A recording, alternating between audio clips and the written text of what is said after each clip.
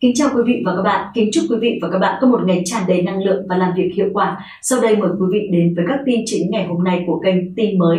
Bản tin thời sự tổng hợp tất cả những tin tức nóng hổi mới nhất trong ngày hôm nay. Xin mời quý vị cùng theo dõi.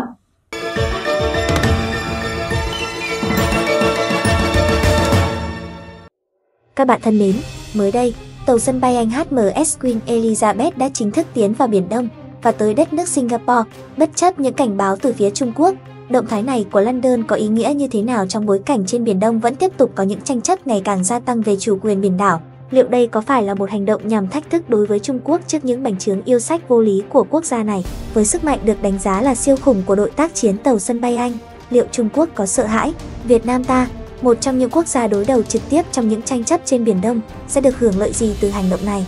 Chúng ta sẽ cùng khám phá trong video ngày hôm nay các bạn thân mến. Kể từ đầu năm 2021, nhóm tác chiến tàu sân bay HMS Queen Elizabeth đã chính thức rời cảng Portsmouth để đến châu Á, bắt đầu hành trình vượt qua quãng đường hơn 40.000 km với lịch trình thăm 40 quốc gia và góp mặt vào hơn 70 hoạt động phối hợp trên biển với nhiều nước khác nhau. Dự kiến sẽ quay về nước vào cuối năm nay. Trung tâm của nhóm tác chiến này là tàu sân bay HMS Queen Elizabeth lớn và hiện đại bậc nhất của Anh, theo cùng là đội tàu hộ tống bao gồm hai tàu hộ vệ tên lửa lớp tai 23, hai tàu khu trục phòng không lớp tai 45, một tàu vận cỡ lớn và một tàu vận tải hạm đội. Hà Lan cũng đóng góp lực lượng cho nhóm tác chiến trên với tàu hộ vệ phòng không. Trong khi đó, Hoa Kỳ có sự góp mặt của tàu khu trục USS Theodore Roosevelt và một phi đoàn tiêm kích thủy quân lục chiến số 211. Bộ Quốc phòng Anh chia sẻ với báo chí rằng, nhóm tàu sân bay này sự tập hợp của lực lượng trên biển và trên không lớn nhất từ trước đến nay từng được triển khai. Cũng chính vì vậy, Hải trình lần này được đánh giá là đợt hiện diện lớn nhất của Hải quân Anh trong thời bình suốt 25 năm qua, như một bước để đánh dấu sự quay trở lại. London tuyên bố rằng nhóm tàu sân bay sẽ tiến sâu vào Biển Đông để tham gia vào các chiến dịch tự do hàng hải, tuy nhiên sẽ không đi qua eo biển của Đài Loan. Bất chấp việc Trung Quốc đã tuyên bố chủ quyền gần như tại toàn bộ vùng biển này, đội tàu vẫn tiếp tục hành trình đã được đưa ra. Điều này khiến Trung Quốc vô cùng phẫn nộ. Bên cạnh đó, cũng có những sự dè chừng nhất định Trung Quốc ra sức phản đối sự hiện diện bất kỳ một lực lượng hải quân châu Âu nào trong vùng biển có yêu sách chủ quyền của họ họ. Vì thế, khi nhận được thông tin, họ đã liên tục đưa ra những cảnh báo cho đội tác chiến tàu sân bay Anh rằng họ không được tiến hành bất cứ hành động nào không thích hợp. Bắc Kinh còn tuyên bố sẽ theo dõi chi tiết hoạt động của nhóm tàu chiến Anh và coi đây như một cơ hội để nghiên cứu, tập dượt và có được cái nhìn cận cảnh về một trong những chiến hạm hiện đại bậc nhất của London. Bên cạnh đó, quốc gia này còn cáo buộc Anh vẫn tiếp tục sống trong thời kỳ thực dân hồi tưởng lại những ngày tháng huy hoàng của đế quốc Anh. Sau đó là động thái tập trận ở vùng biển ngoài khơi phía đông nam tỉnh Quảng Đông. Cơ quan tuyên truyền của Đảng Cộng sản Trung Quốc CCP, tờ báo Diều Hâu Hoàn Cầu còn mạnh miệng tuyên bố lực lượng hải quân thuộc quân đội giải phóng Trung Quốc đang trong trạng thái cao độ và sẵn sàng tác chiến. Điều đó khẳng định rằng Trung Quốc đã sẵn sàng cho những cuộc tranh chấp đối đầu. Trong ấn bản hôm trước, Hoàn Cầu Thời báo cũng đề cập đến sự kiện nói trên và cảnh báo việc điều tàu chiến vào bên trong khu vực 12 hải lý chủ quyền của Trung Quốc chính là sự thách thức trực tiếp và lợi ích cốt lõi của quốc gia này tại Biển Đông. Bên cạnh đó còn nhấn mạnh, đó là một sai lầm của London. Một số chuyên gia thuộc Đại học Bắc Kinh cũng tham gia bình luận vấn đề này trên thời báo Hoàn Cầu. Họ cho rằng Anh đã bị Mỹ xúi dục. Từ trước tới nay, Anh vẫn luôn tập trung từ chối khéo việc theo Mỹ, đối đầu với Trung Quốc hay có những hành động trực tiếp khiêu khích Trung Quốc như vậy. Do vậy, Trung Quốc chờ đợi Hải quân Anh, hy vọng Hải quân nước này sẽ thận trọng, không nghe theo xúi dục và từ bỏ ý định tiến sâu vào vùng biển có yêu sách chủ quyền của Trung Quốc tại Biển Đông. Thế nhưng, đó chỉ là những thông báo trên truyền thông.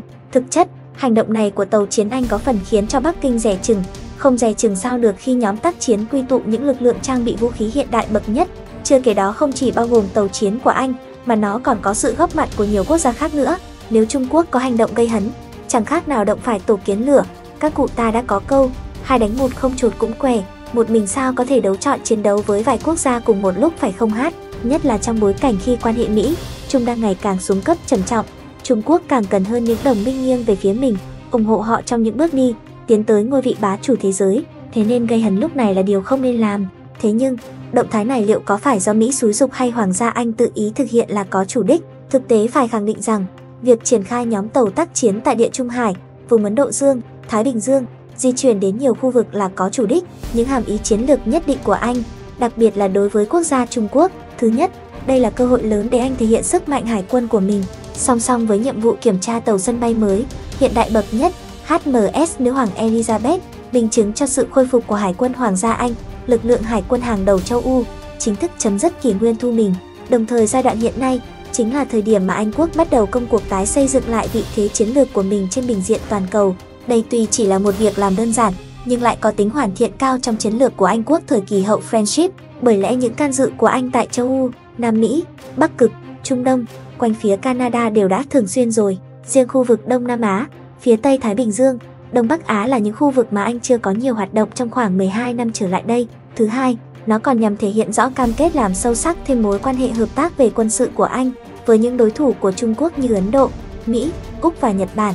Mặt khác, anh còn muốn nâng cao khả năng tác chiến liên hợp cũng như ngoại giao về quốc phòng với các quốc gia đồng minh và đối tác chiến lược tại các khu vực thiết yếu trên toàn thế giới.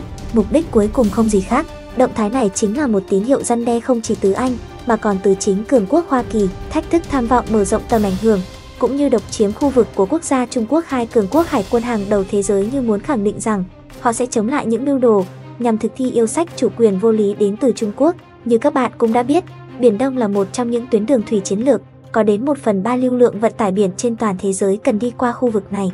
Trong khi đó, Bắc Kinh lộng hành, tuyên bố yêu sách chủ quyền trái phép gần như trên khắp cả Biển Đông. Chính quyền nước này đã và đang thực hiện trái phép rất nhiều hoạt động như xâm nhập địa phận và đánh chìm tàu nước ngoài, sử dụng tàu cá để làm lực lượng dân quân biển ở Biển Đông, xây dựng nhiều đảo nhân tạo mới, bỏ ngoài tai những phán quyết của Tòa án quốc tế năm 2016. Bắc Kinh vẫn tiếp tục rêu rao, khẳng định chủ quyền đối với phần lớn lãnh hải thuộc vùng biển tranh chấp, liên tục cho xây dựng các bãi đá, những đường băng nhân tạo. Đây được cho là những hành động nhằm thúc đẩy tham vọng của Trung Quốc, biến Biển Đông thành một bàn đạp để cạnh tranh quyền lực, tầm ảnh hưởng với Hoa Kỳ và không loại trừ cả sự cạnh tranh với phương Tây. Chính những hành động này đã khiến nhiều quốc gia nóng mắt, Trung Quốc vấp phải sự chỉ trích nặng nề từ không chỉ các nước trong khu vực, mà cả các quốc gia phương Tây khác với những hành động ngang ngược của mình. Việc Hải quân Hoàng gia Anh và Mỹ tăng cường triển khai lực lượng tại Biển Đông là một động thái hoàn toàn hợp lý. Nó sẽ khiến Trung Quốc khó khăn hơn trong mưu đồ bành trướng, thống trị các vùng biển cận kề, cũng như nhằm nhe dọa nạt các quốc gia nhỏ hơn. Đó là những chủ đích của Hoàng gia Anh, cũng như cường quốc hàng đầu thế giới hiện nay Hoa Kỳ. Còn Việt Nam chúng ta liệu có được hưởng lợi gì từ động thái trên? Rất có thể đây là một tín hiệu đáng mừng cho mối quan hệ đối tác Anh quốc Việt Nam, một bước đệm để tăng cường mối quan hệ hợp tác tới quan hệ cấp đối tác chiến lược, tiến tới quan hệ đối tác chiến chiến lược toàn diện. Tính tới thời điểm này, Việt Nam đã có quan hệ ở mức này với hai quốc gia là Nga và Trung Quốc. Nói như vậy để có thể thấy, không hề có sự ngăn cản nào để hạn chế khả năng Việt Nam nâng cấp lên quan hệ đối tác chiến lược toàn diện với nhiều quốc gia khác ngoài hai nước kia, mà ví dụ cụ thể và xác thực nhất hiện tại có thể là quan hệ đối tác chiến lược toàn diện với Anh Quốc. Sự hợp tác này chắc chắn sẽ đem đến cho Việt Nam nhiều cơ hội hơn về nhiều mặt, từ kinh tế cho đến sức mạnh quốc phòng. Trong bối cảnh hiện tại, trước sự nhăm nhe vùng lãnh hải của Trung Quốc, gia tăng tiềm lực hải quân là một điều thiết yếu của Việt Nam. Trong khi đó, Hải quân Hoàng gia Anh được đánh giá là một trong những lực lượng hải quân hàng đầu thế giới, được trang bị vũ khí hiện đại bậc nhất. Sự hỗ trợ của quốc gia này chắc chắn sẽ có những đóng góp đáng kể trong việc nâng cao năng lực hải quân nước ta, cả về mặt nhân sự lẫn trang bị. Bên cạnh đó, thẳng thắn mà nói, Biển Đông là một địa bàn vô cùng quan trọng đối với Trung Quốc, bởi đó là con đường duy nhất để quốc gia này vươn ra biển, vươn lên tranh giành vị trí số 1, khẳng định tầm ảnh hưởng trong khu vực nói riêng, cũng như trên toàn thế giới nói chung. Vậy nên, bằng bất cứ giá nào, Trung Quốc cũng sẽ làm để chiếm đoạt bằng được. Trong tình hình đó, ngoài việc tự bảo vệ các quyền chủ quyền hợp pháp của mình tại vùng biển khu vực, hành động nhóm tàu tác chiến Anh quốc đi vào Biển Đông được cho như sự đồng tình giúp đỡ Việt Nam trước sự bành trướng ngày càng gia tăng của Trung Quốc. Sự đồng tình, giúp đỡ của các nước bạn chắc chắn là sự cần thiết, đặc biệt quan trọng trong nỗ lực đấu tranh ngăn cản, bảo vệ các quyền chủ quyền và các quyền hợp pháp khác của Việt Nam chúng ta trên Biển Đông.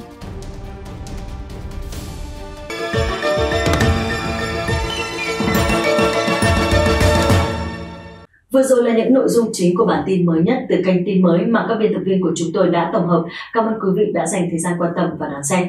Theo báo cáo của CCTV News ngày 22 tháng 8, bắt đầu từ hai ngày trước đó, hình đài Hạ Bắc đã trải qua lượng mưa lớn nhất kể từ mùa lũ. Tính đến 22 giờ 30 phút ngày 22 tháng 8, theo thống kê của Cục Dân chính Hình đài đã có 16 người thiệt mạng và 11 người mất tích. 4.051 ngôi nhà bị sập, thương vong vẫn đang được xác minh. Phượng Hoàng.com dẫn lời một nhân chứng cho biết vào dạng sáng hai ngày trước đó theo giờ Bắc Kinh, nước lũ từ hồ chứa hình đài xuyên khẩu bất ngờ đổ về các ngôi làng ở Hạ Lưu khiến nhiều người chết đuối. Một số người dân chặn đường và yêu cầu nói chuyện với chính quyền. Vụ tắc đường xảy ra vào khoảng 8 giờ sáng ngày 22 tháng 8. Những người chặn đường và dân làng Đại Tiên, thị trấn Đông Vương, khu phát triển hình đài. Vào thời điểm đó, đoạn hình đài của quốc lộ 107 và tỉnh lộ 326 đã bị tê liệt Sau khi có người gọi điện báo cảnh sát, cảnh sát đã nhanh chóng đến hiện trường để thuyết phục những người chặn đường sơ tán nhưng bị từ chối. Vụ việc nhanh chóng leo thang khi số lượng người chặn đường tiếp tục tăng lên. Rất đông cảnh sát đã lao vào hiện trường để chỉ đạo và xử lý tình huống, tăng cường và kiểm soát tình hình. Trong video, có người lớn tiếng chất vấn Vương Thanh Phi. Ông cho biết thôn chúng ta có bao nhiêu người chết không? Vương Thành Phi liên tục gật đầu nhưng cũng không tích cực đáp lại. Trương Anh Lâm, chuyên gia bảo tồn nước ở thành phố Hình Đài và Trương Vĩnh Thắng, chuyên gia khí tượng ở thành phố Hình Đài cho biết, phải đến ngày 23 tháng 8, Hình Đài mới đưa ra lời giải thích về vụ việc vượt quá khả năng chịu đựng của dòng sông, dân làng dọc theo sông Kỳ Lý bị thiệt hại. Trương Anh Lâm cũng cho biết hồ chứa Đông Xuyên Khẩu là một hồ chứa mở và việc xả lũ không thể kiểm soát được Làng Đa Sian, nơi bị lũ lụt bao phủ, nằm ở bờ bắc sông Kỳ Lý ở Hình Đài. Bên cạnh sông, hạ lưu hồ chứa xuyên khẩu là sông Kỳ Lý. Trong đợt lũ, nước sông dâng cao, nước tràn bờ tràn vào làng. Người dân làng Đại Tiền cho biết vào khoảng 1 giờ sáng, lũ bất ngờ tràn vào làng trong tích tắc. Mặt nước đã ngập tới 2 mét dưới mái nhà. Hiện đã xác định có rất nhiều người chết trong mưa lũ, còn hai em vẫn chưa rõ tung tích. Cư dân mạng chỉ ra rằng báo cáo của phương tiện truyền thông chính thống đã đưa tin Internet tràn ngập tin tức hình đài, báo cáo chính thức của truyền thông hình đài thông báo không có người chết, không có tiếng nói hành động. Nhưng kết quả của nó rất nhiều người đã thiệt mạng, vậy tại sao người dân tức giận? Có tin đồn rằng việc xả lũ chính thức của hình đài đã bị đánh giá thấp và việc chuyển giao không đủ để gây ra những cái chết, nhưng không có tiếng nói chính thức nào đưa ra để bác bỏ tin đồn và sự nghiệp chính trị của các quan chức hình đài sẽ kết thúc nếu sự thật không được xác lập. Lũ lụt do mưa xối xả ở miền Nam Trung Quốc những ngày qua cũng đã làm 186 người thiệt mạng và hàng chục người mất tích. Tân Hoa xã của Trung Quốc cho biết tổng cộng 1.192 quận thuộc 26 tỉnh thuộc lưu vực sông Dương Tử rộng lớn của Trung Quốc đã bị ngập lụt. 1,48 triệu người phải di rời khẩn cấp và 32,82 triệu người bị ảnh hưởng gần 100 con sông của lưu vực sông Dương Tử vượt mức báo động. Nước sông Dương Tử đổ vào hồ Bà Dương và lượng mưa lớn khiến một số tuyến giao thông bị gián đoạn trong một thời gian. Cơ quan ngôn luận cho biết bờ biển phía đông nam của Trung Quốc sẽ hứng chịu một cơn bão vào thứ Sáu, ảnh hưởng đến hàng triệu người. Theo bản tin Tổng cục Phòng vệ Quốc gia Trung Quốc, tính đến ngày thứ Ba vừa qua, 1.192 quận thuộc 26 tỉnh, khu tự trị và thành phố đã bị lũ lụt 29,42 triệu hecta cây trồng bị ảnh hưởng, 32,82 triệu người bị ảnh hưởng và 1,48 triệu người bị ảnh hưởng. 186 người thiệt mạng, 45 người mất tích, 56.000 ngôi nhà bị sập và thiệt hại kinh tế trực tiếp khoảng 50,6 tỷ nhân dân tệ. Kể từ cuối tuần trước, các khu vực dọc trung và hạ lưu sông Dương Tử, sông Giang Hoài và phía đông Tây Nam Trung Quốc hứng chịu lượng mưa lớn nhất kể từ mùa lũ, gây lũ lụt nghiêm trọng tại một số khu vực. Gần 100 người ở Hồ Bắc, Giang Tây, Hồ Nam, Giang Tô, Quảng Tây, Quý Châu và các tỉnh khác. Các con sông bị ngập lụt vượt quá mức cảnh báo. Ngoài ra, lần đầu tiên trong năm nay, Hồ Bà Dương bị ngập bởi sông Dương Tử. Đài quan sát khí tượng Trung ương Trung Quốc tiếp tục đưa ra cảnh báo mưa bão màu xanh vào chiều thứ ba, dự báo mưa lớn ở An Huy, Giang Tô, Hồ Bắc, Hồ Nam, Hà Nam, Tứ Xuyên, Vân Nam, Quảng Tây, Hải Nam, Tân Cương và các tỉnh khác từ 20 giờ thứ ba đến 8 giờ chiều thứ tư, thậm chí mưa xối xả. Theo báo cáo từ chinanews.com, do lòng sông có độ dốc lớn nên lượng mưa gần đây đã gây ra lũ quét ở nhiều nơi, nhà cửa bị sập, đất canh tác bị cuốn trôi và cơ sở hạ tầng như đường xá, thủy lợi, thông tin liên lạc và điện bị hư hại nghiêm trọng. Đường xá bị sập ở An Huy, Giang Tây và Hồ Bắc khiến giao thông bị gián đoạn. Bắc Kinh, Cửu Long, Thành Đô, Trùng Khánh, Tứ Xuyên, Quý Châu và các tuyến đường sắt khác tạm thời bị gián đoạn, dẫn đến nhiều tuyến tàu bị hoãn hoặc tạm dừng. Thưa quý vị, lũ lụt ở miền Trung và Bắc Trung Quốc đã khiến ít nhất 150 người thiệt mạng, rất nhiều người mất tích và hàng trăm ngàn người buộc phải bỏ nhà cửa. Hà Bắc và Hà Nam là hai tỉnh bị ảnh hưởng nặng nhất bởi trận lũ lụt và lở đất này. Ít nhất 114 người thiệt mạng ở Hà Bắc, 111 người mất tích và 53.000 ngôi nhà bị hủy, các quan chức Trung Quốc cho biết. Chính quyền Trung Quốc thông báo sẽ cung cấp tiền cho các khu vực bị lũ nặng, nơi hàng triệu người bị ảnh hưởng, mất điện, liên lạc và giao thông khó khăn là những vấn đề chính Tuần qua, truyền thông địa phương cho hay có tổng cộng khoảng 8,6 triệu người bị ảnh hưởng, hơn 1,5 triệu hecta hoa màu bị thiệt hại, tổn thất kinh tế hơn 20 tỷ nhân dân tệ, khoảng 3 tỷ đô la Mỹ. Lũ lụt ở Hồ Bắc rất nghiêm trọng. Vào thứ Sáu vừa qua, thủ phủ của tỉnh là Vũ Hán đã trở thành đại dương bao la và mọi chức năng của thành phố gần như bị tê liệt. Trong khi đó, tại thành phố Huỳnh Đài thuộc tỉnh Hà Bắc, hàng ngàn người dân đã đổ ra đường phản đối sự tác trách của giới chức địa phương trong việc cảnh báo và cứu hộ thảm họa. Thống kê hôm 22 tháng 8 cho thấy ít nhất 25 người chết và 13 người mất tích ở Hình Đài. Đài truyền hình vệ tinh Hà Bắc dẫn lời một người dân cho biết cảnh báo lũ chỉ được phát đi khi nước đã dâng ngang ngực.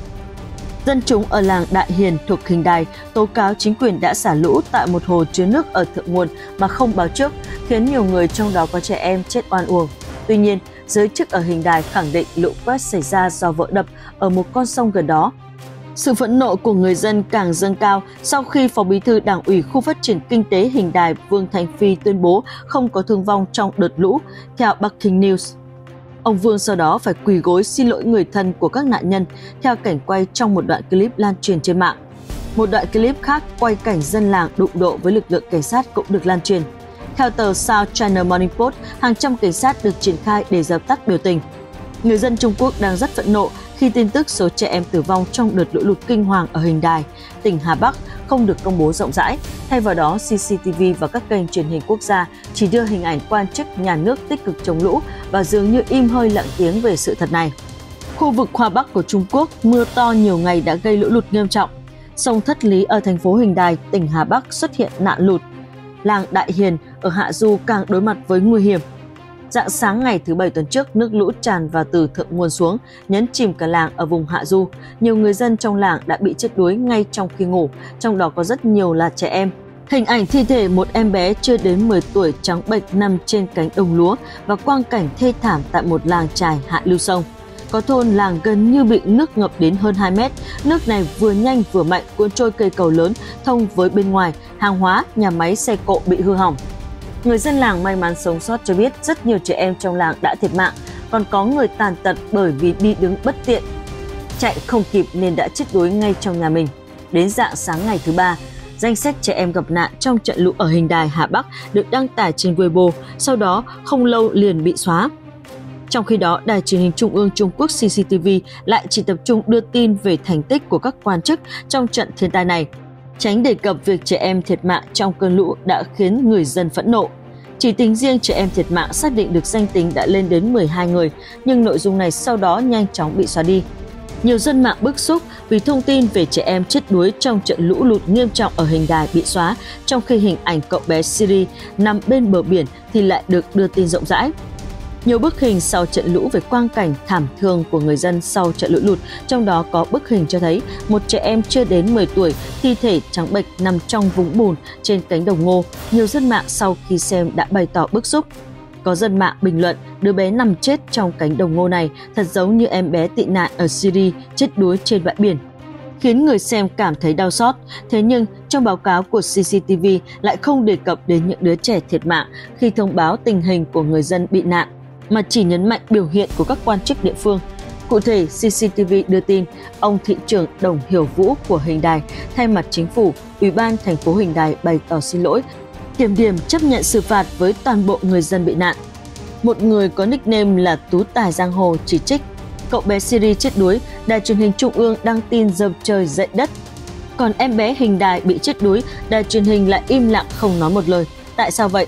Trẻ con nước ngoài bị chết đuối mới đáng được đài truyền hình đồng cảm sao? Các em nhỏ của Trung Quốc thì lại không đáng được đồng cảm sao? Khi được hỏi về tình hình phòng chống cứu trợ thiên tai ở hình đài, chủ nhiệm văn phòng thông tin hình đài Cao Trấn Khôi cho biết, theo cá nhân ông, trong tai nạn lần này, chính quyền địa phương về mặt chủ quan đã cố gắng hết sức nạn lụt quá lớn, có những nhân tố không thể chống chọi được, chính phủ vẫn đang dốc hết sức thực hiện công tác cứu trợ, không có xảy ra tình huống sai sót trong công tác. Tuy nhiên, người dân phản bác rằng thảm kịch này xảy ra do chính quyền hình đài xả lũ không báo trước cho người dân để di rời kịp thời, đồng thời cho rằng các kênh truyền thông đã che đậy thông tin về vụ việc ở hình đài và tố cáo con số thiệt mạng trong báo cáo của chính phủ thấp hơn nhiều so với con số thực tế. Thưa quý vị, lốc xoáy và mưa đá do thời tiết đối lưu mạnh vào thứ năm vừa qua đã giết chết ít nhất 78 người và làm bị thương 500 người ở những nơi như Phúc Ninh và Lâm Dương ở tỉnh Giang Tô. Những nơi đối lưu gây gắt đi qua có xét đánh mạnh ngắn ngày, mưa đá, rông và gió giật mạnh, một số khu vực còn xảy ra lốc xoáy. Gió mạnh là một trong những nguyên nhân chính dẫn đến thương vong nặng nề trong thời gian này, với các ghi nhận cho thấy tốc độ gió đạt tới 125 km/h ở một số khu vực theo thông tin chính thức của Bộ Nội vụ Trung Quốc, hơn 200 trong số hơn 500 người bị thương đã bị thương nặng và cơ quan chính phủ cũng đã gửi các tài liệu cứu trợ tương ứng đến vùng thiên tai địa phương càng sớm càng tốt. Điều này được hiểu rằng những ngôi nhà nơi thời tiết đối lưu mạnh bị hư hại nhiều hơn, các thiết bị liên lạc điện bị hư hỏng, giao thông và cung cấp điện ở một số khu vực thiên tai bị gián đoạn. Tình hình thảm họa thực tế và cụ thể trong khu vực thiên tai có thể được nhìn thấy thông qua mạng xã hội. Mới đầu tuần này, giới chức thông báo 22 người thiệt mạng và 20 người mất tích. Lũ lụt ở miền Nam Trung Quốc đã khiến 235 người thiệt mạng và 109 người khác mất tích. Thiệt hại kinh tế trực tiếp đã vượt quá 50 tỷ nhân dân tệ. Báo chí đưa tin rằng sông Tương Giang ở Hồ Nam, Trung Quốc đã trải qua mức lũ lụt cao thứ ba kể từ năm 1953. Kể từ đầu tuần trước, thiên tai mưa lũ dữ dội ở miền Nam Trung Quốc đã khiến tổng cộng 34,261 triệu người bị ảnh hưởng tại 10 tỉnh gồm Chiết Giang, Phúc Kiến, Giang Tây, Hồ Bắc, Hồ Nam, Quảng Đông, Quảng Tây và Trùng Khánh với 235 người chết, 109 người mất tích và hơn 300 người khác ở các khu vực bị ảnh hưởng.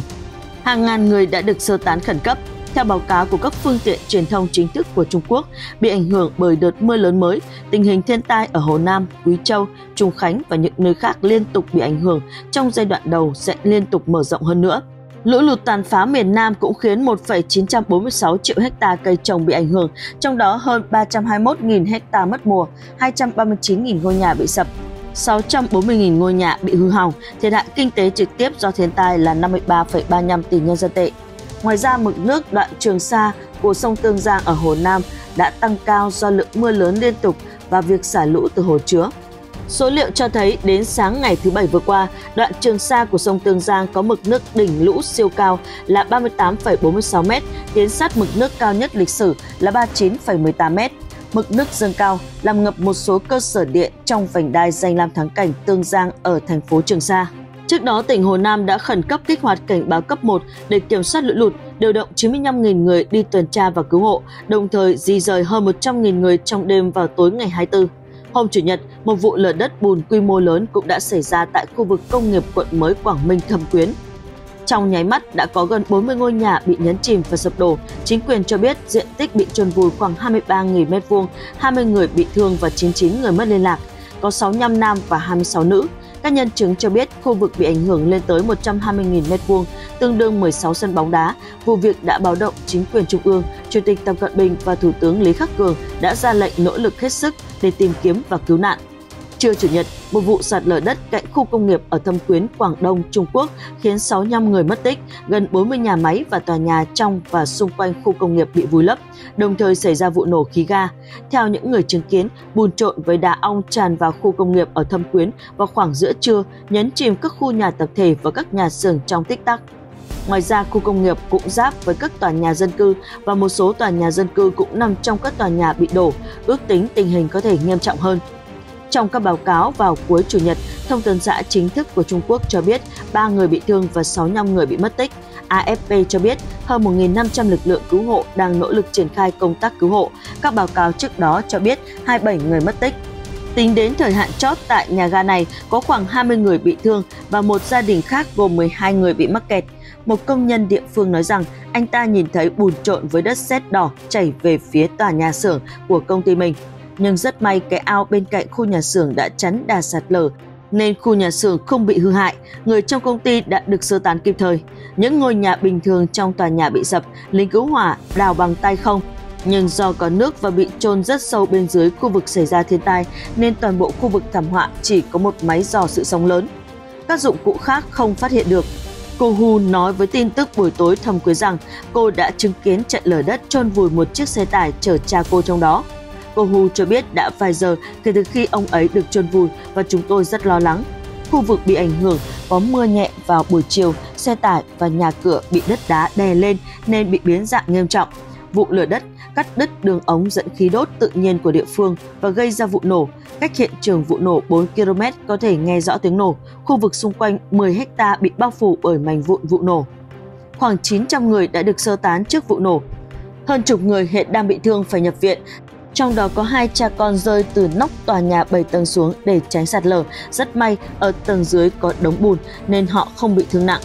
Trong số gần 40 tòa nhà bị trôn vùi, có hai tòa nhà là ký túc xá của công nhân. CCTV dẫn lời quan chức địa phương cho biết hầu hết công nhân trong các khu ký túc xá thuộc những doanh nghiệp đã được sơ tán. Sau vụ tai nạn, các nhà lãnh đạo nhà nước Trung Quốc đã bày tỏ sự lo lắng. Chủ tịch Tập Cận Bình đã chỉ đạo chính quyền địa phương nhanh chóng triển khai các nỗ lực cứu hộ để giảm thiểu thương vong và ngăn chặn thảm họa thứ cấp. Thủ tướng Lý Khắc Cường yêu cầu tìm ra nguyên nhân xảy ra thảm họa và giải quyết hậu quả. Vì Quảng Châu, Đông Quan, Thâm Quyến và những nơi khác là khu vực tập trung một lượng lớn doanh nhân Đài Loan và các doanh nhân Đài Loan địa phương chủ yếu kinh doanh quần áo, giày dép, mũ, đồ chơi và các ngành công nghiệp chế biến và xuất khẩu khác. Văn phòng các vấn đề Đài Loan của Quốc vụ viện đã tuyên bố một cách hiệu quả vào tối thứ Bảy rằng xác nhận rằng không có nhà đầu tư Đài Loan nào trong khu công nghiệp. Nguyên nhân vụ sạt lở đất đá chưa được xác định. Tuy nhiên, theo video của các phương tiện truyền thông chính thức, một lượng lớn khói và bụi bốc lên từ các tòa nhà xưởng ban đầu và các tòa nhà khác, sau đó chỉ còn lại những bức tường đổ nát và đống gạch vụn. Về nguyên nhân dẫn đến vụ lở đất ở Thâm Quyến, ban đầu quan chức này cho biết đó là một bãi cát gần khu công nghiệp, nơi đổ đất thải chất đống do bất thường nên bùn đất tràn vào khiến núi bị sạt lở. Nhưng lời giải thích này không thuyết phục, cư dân mạng lần lượt đặt câu hỏi lên mạng yêu cầu cơ quan chức năng tiến hành điều tra kỹ lưỡng. Một số cư dân mạng cho rằng đất và rác thải xây dựng được chôn lấp trên núi, làm sao có thể không dẫn đến sạt lở đất đá. Mong rằng sau khi giải cứu xong, người dân địa phương phải chịu trách nhiệm. Một số cư dân mạng chỉ ra, xét hiện trạng tòa nhà bị sập thì không giống sạt lở. Nếu là sạt lở khiến tòa nhà sụp đổ thì sẽ đổ về một hướng chứ không đổ thẳng từ trên xuống dưới. Một số cư dân mạng cũng đặt câu hỏi về chất lượng xây dựng của khu công nghiệp, đặt câu hỏi liệu đây là thảm họa tự nhiên hay thảm họa do con người gây ra. Ẩn dụ có phải là một dự án tồi tàn khác không? Cũng có cư dân mạng tự nhận mình đã từng làm việc cho một doanh nghiệp trong khu công nghiệp cho biết ngọn núi phía sau khu công nghiệp đang được khai thác khoáng sản. Nếu khoét rỗng liệu có sập được không? Cũng có nhân chứng cho biết địa điểm xảy ra tai nạn vốn là một mỏ đá Hố lớn do mỏ đá hình thành sau khi bị bỏ hoang đã trở thành bãi đất hoang. Hai năm nay, xe ben vận chuyển đất lên từng đợt về đêm. Chất thải và đất tích tụ đã hoàn toàn vượt quá khả năng chịu lực. Ngoài ra, truyền thông Đài Loan cũng lưu ý rằng phương tiện truyền thông chính thức của đại lục Tân Hoa Xã đã đăng một bình luận về vụ tai nạn vào đầu ngày thứ Bảy, nhắc nhở tất cả các địa phương và ban ngành tăng cường giám sát và quản lý để ngăn chặn thảm kịch tái diễn. Ông Tập đã đưa ra những chỉ thị quan trọng ngay sau vụ tai nạn nhưng thực sự là được đưa ra khoảng 8 giờ sau vụ tai nạn. Thưa quý vị, theo trang web của Sở Dân Chính tỉnh Hà Bắc, từ 4 ngày qua, hầu hết các khu vực của tỉnh Hà Bắc đều có mưa, gây lũ lụt ở một số khu vực trong tỉnh và gây ra nhiều vụ lở đất, làm nhiều người thiệt mạng và mất tích. Tính đến 18 giờ ngày 22 tháng 8, toàn tỉnh có 114 người chết và 111 người mất tích do thiên tai.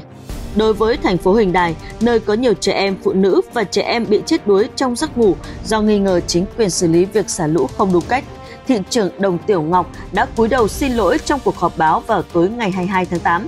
Theo dữ liệu từ Cục Dân Chính, tính đến 18 giờ ngày 22 tháng 8, 149 quận thuộc 11 thành phố được chia thành quận thành phố Định Châu và thành phố Tân Kỳ đã bị ảnh hưởng bởi thảm họa. 52.900 ngôi nhà bị sập, 155.000 ngôi nhà bị hư hại, 723.500 ha hoa màu bị ảnh hưởng, 30.000 ha hoa màu bị phá hủy.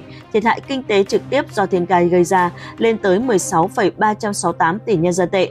Trong số đó, thành phố Huỳnh Đài, nơi chịu ảnh hưởng nặng nề nhất của thảm họa, đã hứng chịu mưa lớn kể từ ngày 19 Sông Kili trên lãnh thổ đã bị ngập lụt, làng Đại Tiên ở Hạ Lưu cũng bị ngập lụt, nhiều trẻ em trong làng bị cuốn trôi. Sau khi sự việc xảy ra, người dân đặt nghi vấn là do hồ thượng nguồn xả lũ, chính quyền chưa làm đầy đủ công tác dự báo, điều động nhân sự. Tính đến 7 giờ ngày 22 tháng 8 đã có 25 người thiệt mạng và 13 người mất tích ở thành phố Huỳnh Đài. Theo một phóng viên do được cử đến Hình Đài, mặc dù nước ở làng Đại Tiên đã rút vào ngày 22 tháng 8, nhưng con đường bị bùn bao phủ, ngập sâu hơn mu bàn chân. Đến chiều nguồn điện trong làng vẫn chưa được khôi phục và tín hiệu điện thoại di động không ổn định. Trường học, nhà dân trong thôn ngổn ngang gạch ngói, cỏ cây, đồ lật vặt bị ngâm trong nước bùn, nhiều công trình bị đổ sập, cột điện, cây cối gãy đổ, thậm chí cả ống xi măng nặng vài tấn dưới sông cũng bị hất tung lên bờ. Hầu hết trong số hơn 2.000 người dân trong làng đã cùng người thân, bạn bè ra khu đô thị lánh nạn. Ban ngày, họ trở về làng để kiểm tra đồ đạc. Báo cáo dẫn lời dân làng nói rằng phù sa trong ngôi nhà sâu đến bắp chân, vạch nước ngập trên tường nhà cao hơn 2 mét và toàn bộ ngôi nhà đã bị phá hủy. Khi một số lượng lớn các phương tiện truyền thông tập trung tại làng để phỏng vấn, một số người không rõ danh tính đã bí mật chụp ảnh các phóng viên bằng điện thoại di động của họ và xấu hổ bỏ đi sau khi bị phát hiện. Ba ngày sau lũ, bộ phận chống dịch vào làng khử trùng, một số người dân tiết lộ một số cán bộ thôn từng định ném lợn chết xuống sông nhưng bị dân ngăn lại rồi mới bỏ. Theo báo cáo của CCTV, thị trưởng Hình Đài Đồng Tiểu Ngọc thay mặt thành ủy Hình Đài và chính quyền thành phố xin lỗi tất cả thân nhân của các nạn nhân, những người mất tích và những người bị ảnh hưởng phản ánh về sự cố lũ lụt trên sông Kili. Đồng thời nói rằng ông sẽ thụ lý điều tra trên. Đồng Tiểu Ngọc thừa nhận rằng dự đoán về tình huống thảm họa là không đầy đủ, năng lực ứng phó khẩn cấp không đủ và việc thống kê xác minh và báo cáo không kịp thời và chính xác do những bức ảnh trước đó về một đứa trẻ tị nạn từ Trung Đông chết đuối trên biển dữ dội. CCTV đã phát đi phát lại chúng nhưng không có hình ảnh nào về thảm kịch ở Hà Bắc. Cư dân mạng tiếp tục phàn nàn với CCTV và CCTV thậm chí còn không trả lời. Tại sao trẻ em nước ngoài đáng được CCTV thông cảm khi chúng chết đuối, còn trẻ em Trung Quốc không đáng được thông cảm? Bạn là CCTV của Trung Quốc hay CCTV nước ngoài? Lũ lụt do mưa xối xả ở miền Nam Trung Quốc đã làm 165 người thiệt mạng và hàng chục người mất tích. Tân Hoa xã của Trung Quốc cho biết tổng cộng 1.012 quận thuộc 26 tỉnh thuộc lưu vực sông Dương Tử rộng lớn của Trung Quốc đã bị ngập lụt, 1,48 triệu người phải di rời khẩn cấp và 32,12 triệu người bị ảnh hưởng. Hơn 100 con sông ở lưu vực sông Dương Tử vượt quá mức báo động. Nước sông Dương Tử đổ vào hồ Bà Dương, lượng mưa lớn khiến một số giao thông bị gián đoạn trong một thời gian. Tờ CNN cho biết bờ biển phía đông nam của Trung Quốc sẽ hứng chịu một cơn bão vào thứ Sáu, ảnh hưởng đến hàng triệu người. Theo bản tin Tổng cục Phòng vệ Quốc gia Trung Quốc, tính đến đầu tuần này, 1.192 quận thuộc 26 tỉnh, khu tự trị và thành phố đã bị lũ lụt, 27 triệu hecta cây trồng bị ảnh hưởng, 32,12 triệu người bị ảnh hưởng và 1,48 triệu người bị ảnh hưởng. 165 người thiệt mạng, 64 người mất tích, 49.000 ngôi nhà bị sập và thiệt hại kinh tế trực tiếp khoảng 46,6 tỷ nhân dân tệ. Kể từ đầu tháng, các khu vực dọc trung và hạ lưu sông Dương Tử, sông Giang Hoài và phía đông Tây Nam Trung Quốc hứng chịu lượng mưa lớn nhất kể từ đầu mùa lũ, gây lũ lụt nghiêm trọng tại một số khu vực, gần 120 người ở Hồ Bắc, Giang Tây, Hồ Nam, Giang Tô, Quảng Tây, Quý Châu và các tỉnh khác bị thiệt mạng và mất tích. Các con sông bị ngập lụt vượt quá mức cảnh báo, Ngoài ra, lần đầu tiên trong năm nay, hồ Poyang bị ngập bởi sông Dương Tử, Đài quan sát khí tượng Trung ương Trung Quốc tiếp tục đưa ra cảnh báo mưa bão màu xanh vào chiều thứ ba, dự báo mưa lớn ở An Huy, Giang Tô, Hồ Bắc, Hồ Nam, Hà Nam, Từ Xuyên, Vân Nam, Quảng Tây, Hải Nam, Tân Cương và các tỉnh khác từ 8 giờ thứ ba đến chiều thứ tư, thậm chí mưa xối xả. Theo báo cáo từ chinanews.com, lượng mưa lớn gần đây đã gây ra lũ quét ở nhiều nơi, sông dốc nhà cửa bị sập, đất canh tác bị cuốn trôi và cơ sở hạ tầng như đường xá, thủy lợi, thông tin liên lạc và điện bị hư hại nghiêm trọng. Đường xá bị sập ở An Huy, Giang Tây và Hồ Bắc khiến giao thông bị gián đoạn. Bắc Kinh, Cửu Long, Thành Đô, Trùng Khánh, Tứ Xuyên, Quý Châu và các tuyến đường sắt khác tạm thời bị gián đoạn, dẫn đến nhiều chuyến tàu bị hoãn hoặc tạm dừng. Tại huyện Đài Ninh, tỉnh Phúc Kiến, Trung Quốc, một vụ sạt lở đất xảy ra vào sáng sớm ngày 23 tháng 8 và một nhà máy điện tại địa phương đang được mở rộng đã bị 100.000 mét khối đất đá vùi lấp, 36 người mất tích. Theo trích dẫn của các phương tiện truyền thông chính thức của Trung Quốc, nguyên nhân của vụ lở đất có thể là do trận mưa lớn bắt đầu từ ngày hôm 22 tháng 8 đã cuốn trôi ngọn núi theo đài truyền hình Trung ương Trung Quốc, tính đến 15 giờ theo giờ địa phương, 36 người đã mất tích và 11 người đã được đưa tới bệnh viện để điều trị. Tân Hoa xã cho biết khu vực sạt lở đất nằm phía trên tòa nhà văn phòng và ký túc xá công nhân của nhà máy thủy điện Chitan. Khoảng 100.000 mét khối đất đá đã đè lên tòa nhà văn phòng và ký túc xá của nhà máy điện. Nhà máy điện hiện đang được xây dựng và mở rộng một số phương tiện truyền thông Trung Quốc đã công bố những hình ảnh về nhà máy điện bị trôn vùi bởi vụ lở đất, cho thấy những mái nhà và bức tường bằng kim loại màu xanh lộ ra trên những khu vực rộng lớn của đất nâu. Một số lực lượng cứu hộ và máy xúc đang làm việc tại hiện trường. Theo CCTV cho biết, vụ tai nạn đã ngay lập tức kích hoạt phản ứng từ cấp cao nhất ở Trung Quốc. Theo China Xinhua Chủ tịch Trung Quốc Tập Cận Bình đã yêu cầu chính quyền Phúc Kiến đẩy nhanh công tác cứu hộ và tìm kiếm những người mất tích. Thủ tướng Trung Quốc Lý Khắc Cường đã làm theo. Tháng trước, một trận lở đất khác cũng đã xảy ra ở Thâm Quyến, Trung Quốc khiến ít nhất 73 người thiệt mạng. Nguyên nhân của vụ tai nạn đó là do sự tích tụ trái phép quá nhiều của đất đá phế thải xây dựng trên đồi một trận lở đất ở Thâm Quyến đã gây sốc và bị chỉ trích vì không tuân thủ các tiêu chuẩn an toàn công nghiệp. Truyền thông nhà nước Trung Quốc đã điều chỉnh số người mất tích trong vụ lở đất ở khu công nghiệp quận mới Quang Minh của Thâm Quyến từ 85 lên 91 người và được báo cáo vào sáng thứ Hai. Theo các báo cáo, việc tìm kiếm và cứu hộ những người sống sót sau vụ tai nạn vẫn tiếp tục vào thứ Hai, với tổng số gần 3.000 người tham gia cứu hộ. Nhưng đến tối thứ Hai, chỉ có 7 người sống sót được tìm kiếm và giải cứu khỏi đống đổ nát. Hãng thông tấn chính thức của Trung Quốc Tân Hoa Xã cho biết tổng cộng 900 người đã được sơ tán an toàn. 16 người bị thương và được đưa đến bệnh viện để điều trị. Sau vụ tai nạn lở đất tại khu công nghiệp quận mới Quảng Minh Thâm Quyến, tỉnh Quảng Đông hôm Chủ nhật khiến đường ống dẫn khí bị vỡ và gây ra vụ nổ khí ga, con số thương vong tiếp tục tăng lên. Vụ sạt lở khiến 36 ngôi nhà bị ngập hoặc sập, diện tích bị vùi lấp khoảng 24.000 m2. Theo báo cáo của phóng viên đặc biệt của đài chúng tôi tại Hồng Kông, Nghiêm Thư Ký Chính quyền đã tiếp tục công việc cứu hộ vào sáng ngày thứ hai, nhưng cuộc họp báo do chính quyền thành phố Thâm Quyến tổ chức đã kết thúc vội vàng sau vài phút. Nguyên nhân vụ việc không được đề cập, nhưng các báo cáo chính thức đã đề cập rằng vụ việc có thể là do thảm họa nhân tạo. Tờ Tân Hoa Xã đưa tin, một chuyên gia của Viện Nghiên cứu Đường sắt Trung Quốc cho biết trên TV đây là lần đầu tiên một vụ lở đất quy mô lớn như vậy xảy ra ở Trung Quốc. Bộ Đất đai và Tài nguyên Trung Quốc đưa tin rằng vụ tai nạn có thể là do yếu tố con người gây ra.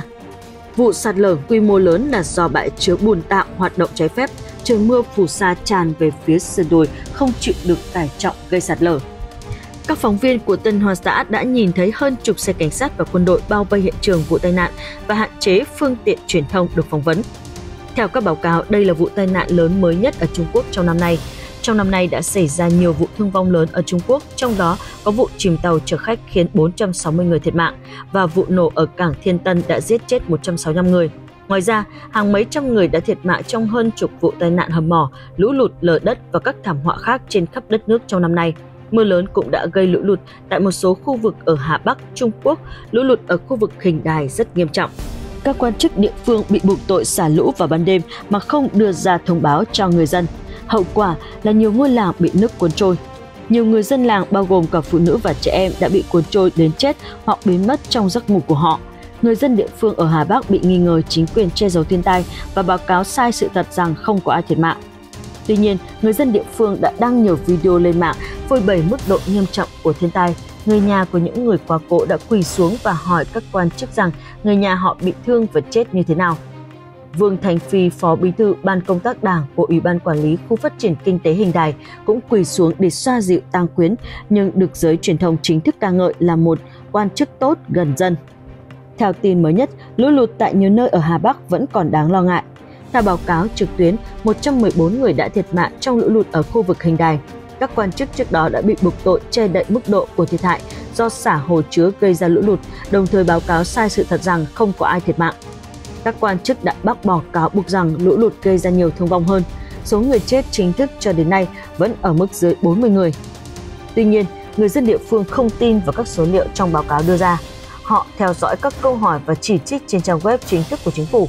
Các báo cáo đã cáo buộc các quan chức địa phương chậm báo cáo thiệt hại và nhanh chóng xóa các bình luận chỉ trích. Theo một báo cáo từ Bắc Kinh, một số phương tiện truyền thông chính thức của Trung Quốc cũng đã bắt đầu chỉ trích chính quyền Hà Bắc vì những sai lầm của họ trong việc kiểm soát lũ lụt khiến hơn 100 người chết và mất tích. Internet Trung Quốc cũng lan truyền một số video về khu vực xảy ra thiên tai, đưa tin về mức độ nghiêm trọng của nó, đồng thời chỉ trích quan chức địa phương lơ là nhiệm vụ ứng phó với lũ lụt. Một video khác tiết lộ các cuộc đụng độ giữa những người bị ảnh hưởng và cảnh sát. Người dân trong khu vực xảy ra thảm họa đe dọa sẽ đến Bắc Kinh để thỉnh nguyện và giải quyết những bất bình của họ và đã cử một số lượng lớn cảnh sát đến bao vây họ. Lũ lụt ở Hà Bắc được cho là do thiên tai gây ra, nhưng người ta chỉ trích rằng chúng do con người gây ra nhiều hơn. Trang CNN cho biết, kể từ tuần này, lũ lụt đe dọa nghiêm trọng, ít nhất 230.000 người buộc phải di rời và hơn 30.000 ngôi nhà bị lũ nhấn chìm hoặc phá hủy. Một nhánh của sông Gia Linh ở thượng nguồn sông Dương Tử, do một đợt mưa mới, hồ chứa Tam Hiệp đã trải qua một đỉnh lũ khác vào sáng nay, trong khi hồ Bắc bị kẹt giữa lũ của sông Dương Tử và sông Hán. Các nhà chức trách gấp rút sơ tán hơn 30.000 người khỏi Vũ Hán và Tiên Đào trước 6 giờ sáng nay, người dân chuẩn bị mở cống để chuyển hướng nước lũ.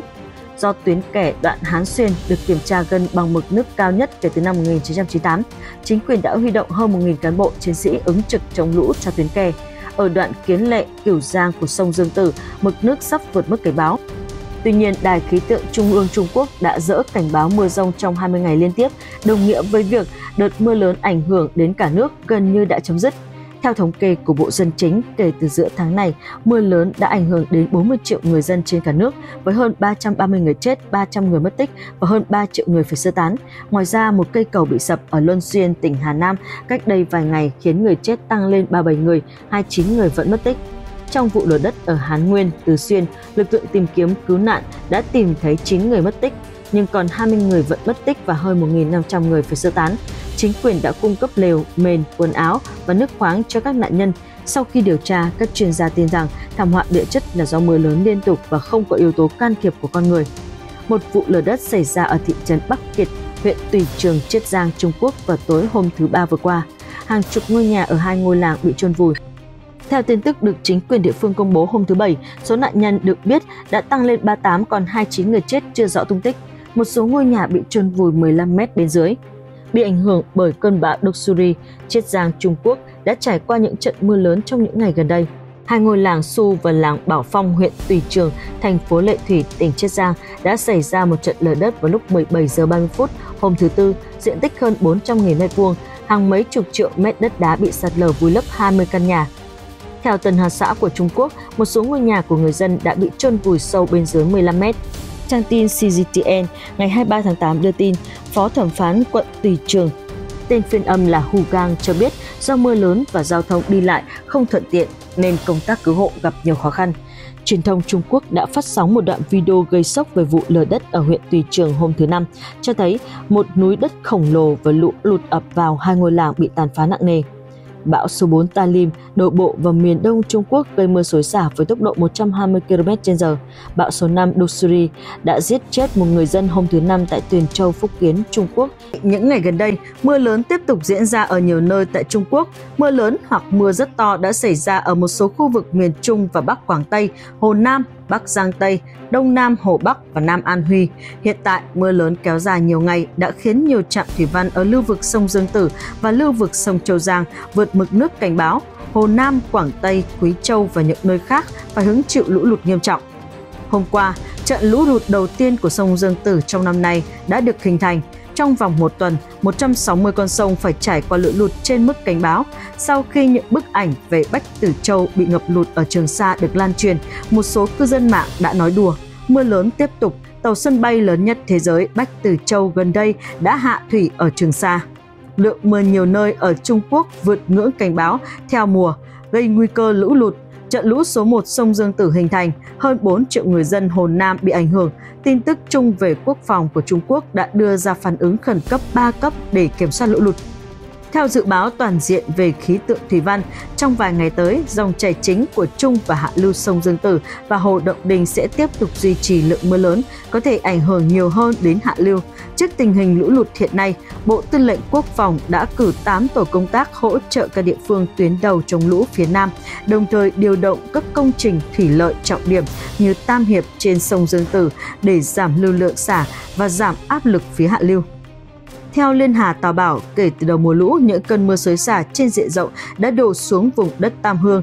Theo thống kê của Trung tâm Khí hậu tỉnh Hồ Nam, lượng mưa trung bình của tỉnh đã phá vỡ mức cực đoan lịch sử, đạt mức cao nhất trong cùng thời kỳ kể từ khi các ghi chép khí tượng bắt đầu vào năm 1951. Đây là giá trị cao nhất trong lịch sử.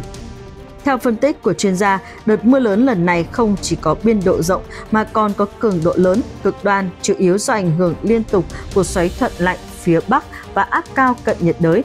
Vị trí của áp cao cận nhiệt đới Tây Thái Bình Dương tương đối ổn định. Kênh dẫn hơi nước cũng tương đối ổn định. Hồ Nam nằm ở rìa áp cao cận nhiệt đới, nằm trong vành đai vận chuyển hơi nước mạnh, có nguồn cung cấp hơi nước liên tục không khí lạnh lan rộng xuống phía Nam, không khí lạnh và ấm thường xuyên gặp nhau ở phía Nam, khiến Hồ Nam có mưa rông liên tục và mưa rông rất to. Mực nước ở Trường Sa, thủ phủ tỉnh Hồ Nam, vượt qua mức cảnh báo, thậm chí Bách Tử Châu, một danh lam thắng cảnh nổi tiếng trong khu vực cũng bị ảnh hưởng bởi vì xung quanh được bao phủ bởi mực nước dâng cao, nó trông giống như một hàng không mẫu hạm trên bầu trời, một cảnh tượng hiếm thấy. Sau khi những bức ảnh về Bách Từ Châu bị ngập lụt được lan truyền, một số cư dân mạng đã nói đùa, mưa xối xả liên tục tàu sân bay lớn nhất thế giới Bách Từ Châu gần đây đã được hạ thủy ở Trường Sa. Dự kiến trong tuần tới, vùng mưa chính tập trung ở Hoàng Hoài, Giang Hoài, Tây và Bắc Giang Nam, Nam Trung Quốc, khu vực phía Đông và Nam sông Dương Tử sẽ tiếp tục dâng cao và mực nước ở phụ lưu Liên Hoa Đường đến sông Đại Đồng và hai hồ sẽ vượt qua mức cảnh báo là 0,5 km đến 1,5 m. Các con sông lớn như con sông Tương Giang ở Hồ Nam, sông Nguyên Giang và Tây Thủy ở Giang Tây sẽ lại hứng chịu lũ lụt trên mức cảnh báo và một số con sông vừa và nhỏ có thể bị lũ lụt tương đối lớn. Mưa lớn lại đổ xuống một số vùng của Trung Quốc, mực nước một số con sông vượt mức cảnh báo, một số khu vực bị lũ lụt nghiêm trọng. Theo thống kê chính thức, những trận mưa lớn và lũ lụt gần đây ở miền Nam Trung Quốc đã ảnh hưởng đến 17,19 triệu người giao thông cục bộ trên nhiều tuyến đường cao tốc và tỉnh lộ bị gián đoạn. Theo báo chí Trung Quốc đưa tin, kể từ ngày đầu tháng, thiên tai lũ lụt miền Nam đã khiến 17,19 triệu người bị ảnh hưởng tại 9 tỉnh thành phố Chiết Giang, An Huy, Phúc Kiến, Giang Tây, Hồ Bắc, Hồ Nam, Trùng Khánh, Tứ Xuyên và Quý Châu với 50 người chết và 15 người mất tích, gần 600.000 người phải sơ tán khẩn cấp. Ngoài ra, 946,5 nghìn hecta đất nông nghiệp bị ảnh hưởng bởi lũ lụt và thiệt hại kinh tế trực tiếp lên tới 8,93 tỷ nhân dân tệ. Theo dự báo của Đài quan sát khí tượng Trung ương Trung Quốc, lượng mưa sẽ tiếp tục trong thời gian này và các khu vực dọc trung và hạ lưu sông Dương Tử sẽ hứng chịu lượng mưa lớn lặp lại từ ngày thứ hai đến thứ bảy. Trụ sở Kiểm soát lũ lụt và cứu trợ hạn hán quốc gia đã đưa ra cảnh báo sớm 3 cấp vào ngày thứ ba. Mưa xối xả ở Bắc Kinh cũng khiến ít nhất 77 người thiệt mạng. Hôm nay là 7 nạn nhân đầu tiên của lũ lụt ở Bắc Kinh.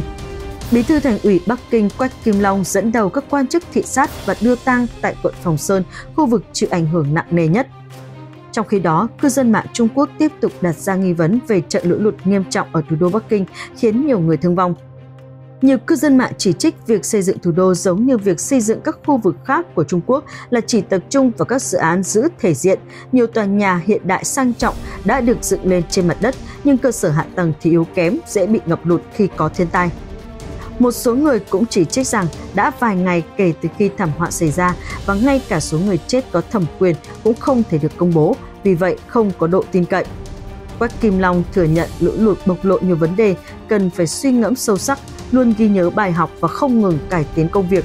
Theo báo chí Trung Quốc đưa tin, Quách Kim Long cũng bày tỏ tại hiện trường rằng trận mưa xối xả đã gây thiệt hại lớn về người và tài sản cho người dân, khiến hơn 70 người thiệt mạng. Quách Kim Long chỉ ra rằng những bài học do trận lụt này mang lại là vô cùng sâu sắc, phơi bày nhiều vấn đề về quy hoạch và xây dựng cơ sở hạ tầng, quản lý khẩn cấp và sẽ tiếp tục củng cố và cải thiện trong tương lai. Cư dân mạng đã nghi ngờ về số người chết chính thức sau trận mưa xối xả hôm thứ Bảy và lũ lụt ở Bắc Kinh khiến hàng chục người thiệt mạng. Tân Hoa xã của Trung Quốc lần đầu tiên thông báo rằng số người chết trong lũ lụt ở Bắc Kinh là 37 người, trước mức độ nghiêm trọng của lũ lụt ở Phòng Sơn và những nơi khác ở ngoại ô phía nam Bắc Kinh. Cùng với thói quen nghi ngờ của người dân về độ tin cậy của quan chức, người ta lo lắng rằng số người chết thực tế có thể cao hơn. Quận Phòng Sơn của Bắc Kinh bị ảnh hưởng nghiêm trọng. Tờ Wall Street Journal ngày 23 tháng 8 đưa tin, nhiều cây cầu ở khu vực miền núi gần thị trấn Chu Khẩu Điếm đã bị nước lũ cuốn trôi, nhiều đoạn đường dài bị nhấn chìm, ô tô nằm rải rác trong đó. Tại làng Thuận Mã Trang, một người đàn ông có họ Ly cho biết người chết phải cao hơn 37. Người đàn ông giấu tên cho biết anh ta được gọi đến làng Thuận Mã để nhận dạng thi thể của anh trai mình. Phần còn lại được tìm thấy khi cảnh sát kéo một chiếc sedan lên khỏi mặt nước vào chiều thứ hai.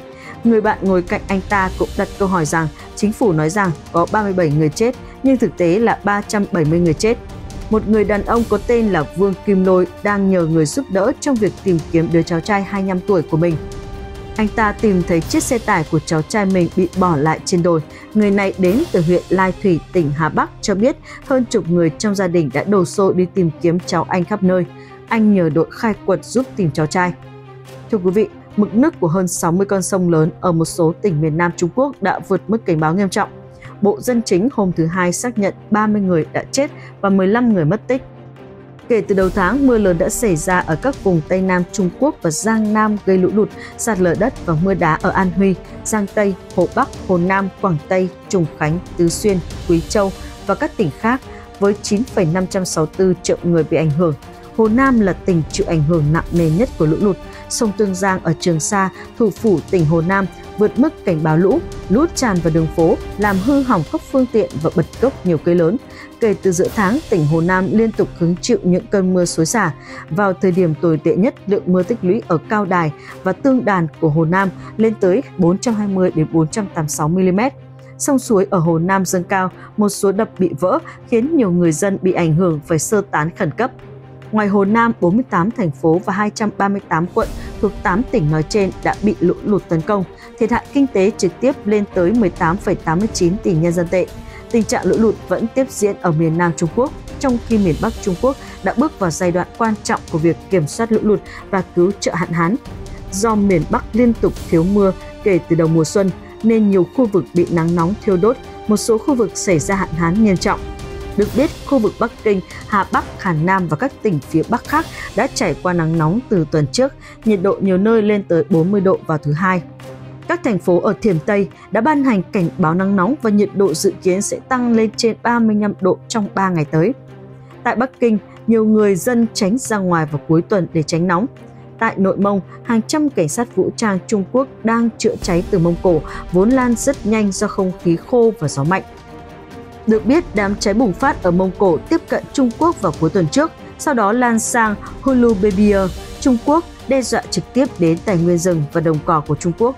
Đến tối thứ hai theo giờ địa phương, đám cháy ở Mông Cổ vẫn tiếp tục lan rộng, hàng trăm cán bộ chiến sĩ lực lượng lâm nghiệp thuộc cảnh sát vũ trang Trung Quốc vẫn đang nỗ lực dập lửa. Một vụ lở đất khác đã xảy ra tại làng Bắc Hà, thị trấn Thành Quan, huyện Nam Trương, thành phố Tương Dương, tỉnh Hồ Bắc, Trung Quốc vào tối thứ Sáu, khiến một phần của khách sạn Migrate ở địa phương bị sập. Số người chết hiện đã tăng lên 12.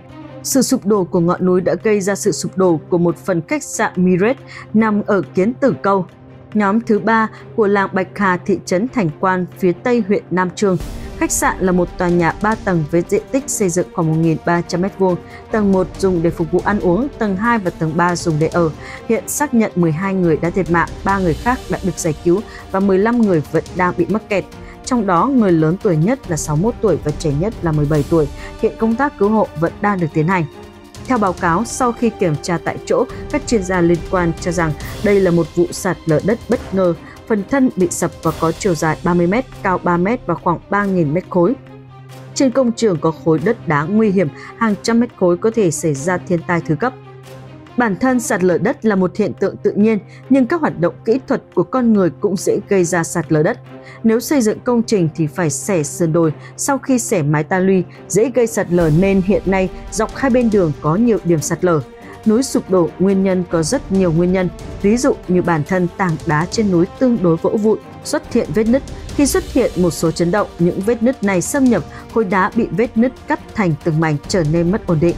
Tối ngày 23 tháng 8, cảnh báo bão đổ bộ Doksuri được đưa ra. Tâm bão nằm trên vùng biển cách Eluanbi khoảng 380 km về phía đông nam. Lạc Nhã Nhân, Giám đốc kỹ thuật của Cục Khí tượng Trung ương cho biết khu vực cảnh báo trên bờ vẫn bao gồm Hàng Xuân, Bình Đông và Đài Đông. Những cơn gió mạnh cấp 10 đã xuất hiện ở Lan Vũ và bán đảo Hàng Xuân và những con sóng cao khoảng 4 mét đã xuất hiện ở Lan Vũ và Đài Đông. Những cơn gió mạnh từ cấp 9 đến cấp 10 có thể xuất hiện ở phía Bắc và Đông Nam của Tân Trúc, dọc theo bờ biển của bán đảo Hàng Xuân, Kim Môn và Mã Tổ. Vào tối ngày 24 tháng 8, lượng mưa tích lũy từ Hòa Liên đến dãy núi Đài Đông được ước tính là 700 đến 1.000 mm, cao nhất ở Đài Loan. Người ta ước tính rằng đảo chính Đài Loan sẽ dần thoát khỏi ảnh hưởng của cơn bão vào hai ngày tới.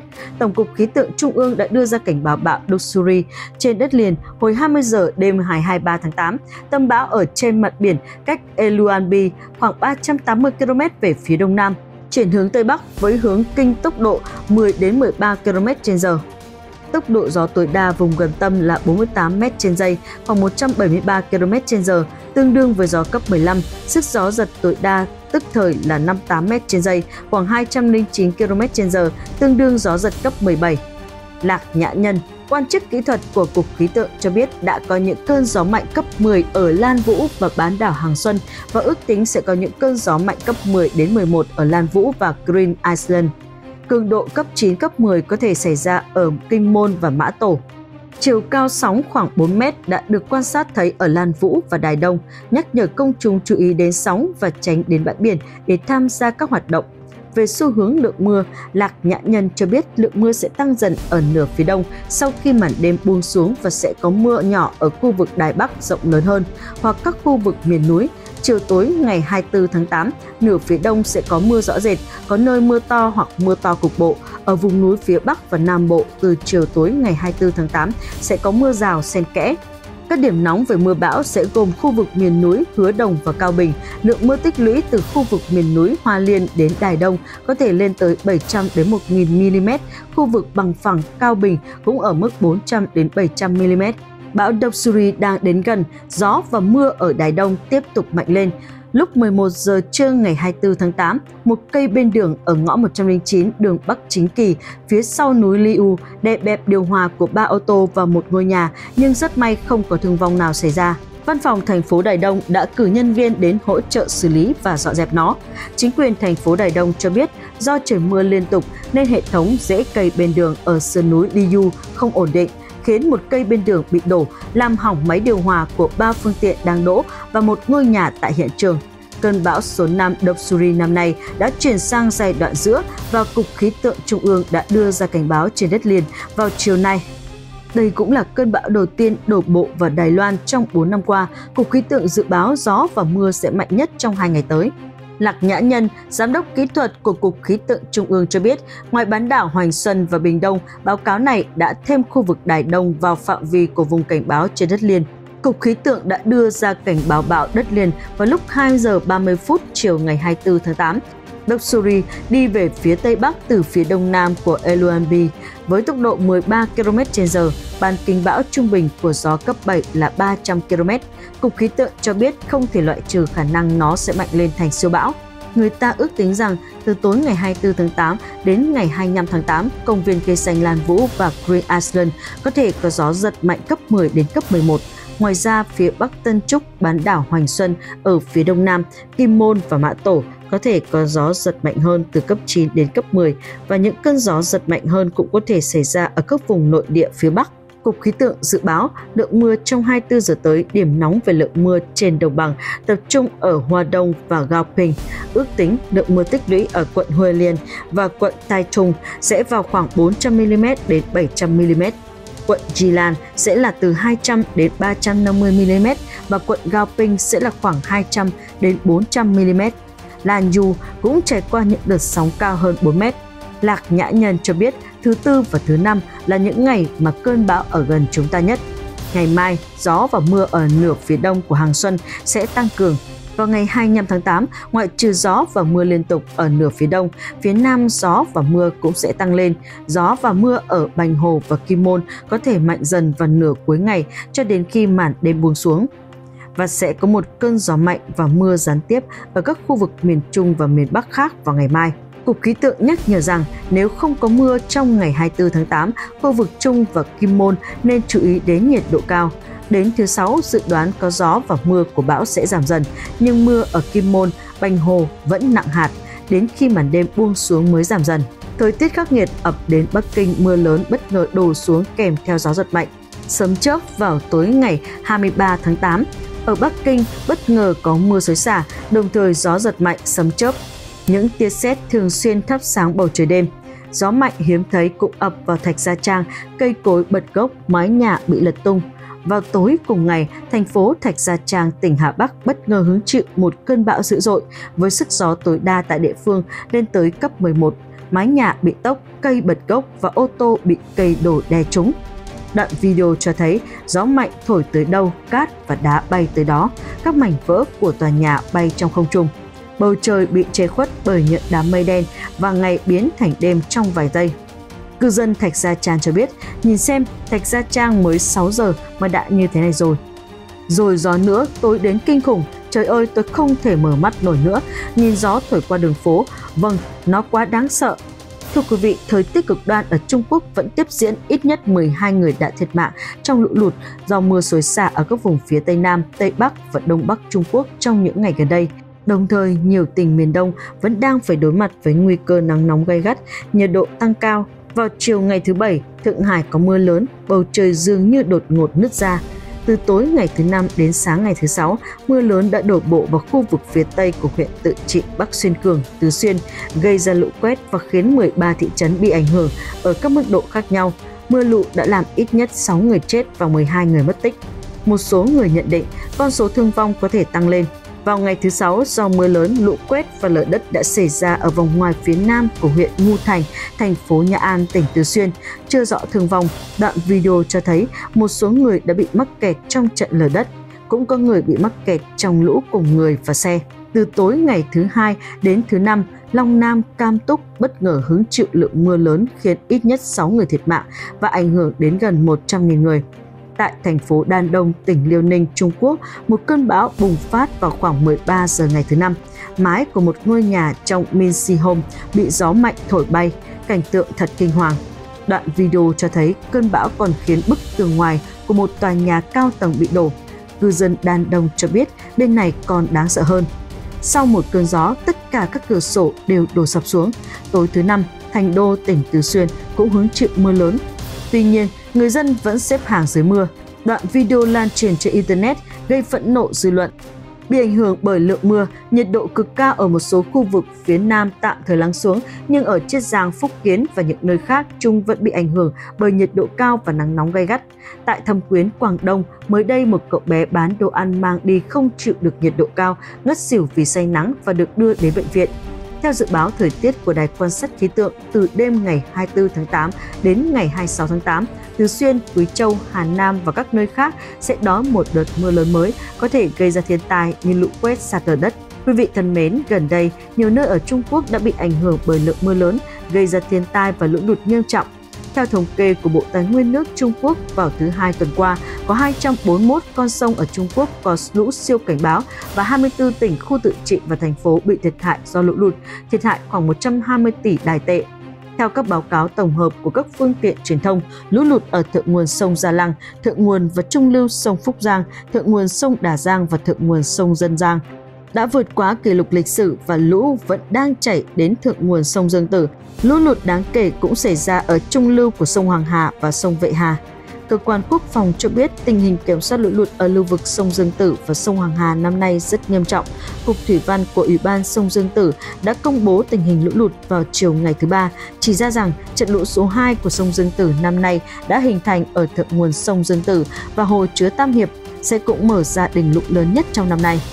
Đài quan sát khí tượng Trung ương Trung Quốc dự đoán rằng sẽ có mưa lớn ở các vùng phía Bắc Trung Quốc và Đông Bắc Trung Quốc vào ngày thứ Ba và thứ Tư tới. Ở Nam Trung Quốc, đặc biệt là phía Tây lưu vực Tứ Xuyên, sẽ có mưa bão lớn. Lũ lụt ở Trung và hạ lưu sông Dương Tử ở Trung Quốc đã khiến cho hơn 95 người thiệt mạng. Truyền thông Trung Quốc cho biết 95 người đã thiệt mạng hoặc mất tích trong những ngày gần đây do lũ lụt ở Trung và hạ lưu sông Dương Tử. Có những lo ngại rằng một cơn bão khác sẽ đổ bộ trong vài ngày tới và lũ lụt sẽ gây thêm thiệt hại về người và tài sản. Truyền thông nhà nước dẫn lời Bộ Nội vụ Trung Quốc cho biết những trận mưa xối xả ở Trung và hạ lưu sông Dương Tử đã ảnh hưởng đến 16 triệu người. Mực nước của Thái Hồ gần thành phố lớn nhất Trung Quốc, Thượng Hải đã tăng lên mức cao nhất kể từ năm 1954. Các khu vực xung quanh có nguy cơ lũ lụt nghiêm trọng nếu cơn bão số 5 đổ bộ vào gần đó. Đoạn phim từ phương tiện truyền thông nhà nước Trung Quốc cho thấy một người nông dân đã khóc khi chứng kiến gần 5.000 con lợn của mình bị nhấn chìm trong nước lũ. Vũ Hán, thủ phủ của tỉnh Hồ Bắc đã bị lũ lụt do mưa lớn biến thành một bể bơi lớn. Lũ lụt thường xuyên xảy ra trong mùa mưa hè ở miền Nam Trung Quốc, nhưng năm nay đặc biệt nghiêm trọng với mưa lớn đổ nhiều xuống khu vực trong tuần này. Phó Thủ tướng Trung Quốc Đinh Tiết Tường hồi tháng trước cảnh báo El Nino năm nay có thể làm tăng nguy cơ lũ lụt ở lưu vực sông Dương Tử và sông Hoài. Năm 1998, El Nino gây ra lũ lụt tồi tệ nhất trong những năm gần đây ở lưu vực sông Dương Tử, khiến hơn 4.000 người thiệt mạng.